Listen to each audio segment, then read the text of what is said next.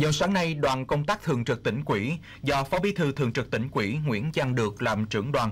có buổi làm việc với Ban Thường vụ Thị quỹ Kiến Tường về tình hình thực hiện nhiệm vụ chính trị trong thời gian qua và những nhiệm vụ giải pháp trọng tâm trong 6 tháng cuối năm và trong cả nhiệm kỳ 2015-2020.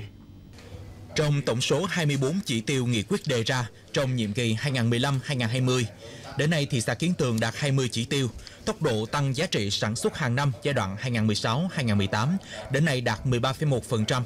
Trong đó, khu vực 1 đạt 3,8%, khu vực 2 đạt 19,6%, khu vực 3 đạt 20,1%. Toàn thị xã có 7 trên 8 xã phường đạt chuẩn xã văn hóa, phường văn minh đô thị. Công tác triển khai nghị quyết Trung ương 4 khóa 12 gắn với thực hiện chỉ thị số 05 của Bộ Chính trị, đề án số 02 của tỉnh quỹ, kế hoạch số 48 của Ban Thường vụ tỉnh quỹ và các quy định nêu gương được thị quỹ kiến tường thực hiện nghiêm túc và đúng lộ trình đề ra.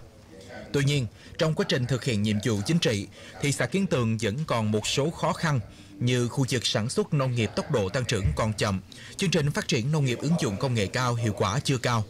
các hoạt động buôn lậu trên tuyến biên giới, hành vi vi phạm trong lĩnh vực an ninh trật tự, an toàn xã hội vẫn còn xảy ra. Tại buổi làm việc, thị xã Kiến Tường kiến nghị tỉnh quỹ, quỹ ban nhân dân tỉnh tiếp tục quan tâm đầu tư phát triển khu kinh tế cửa khẩu Bình Hiệp,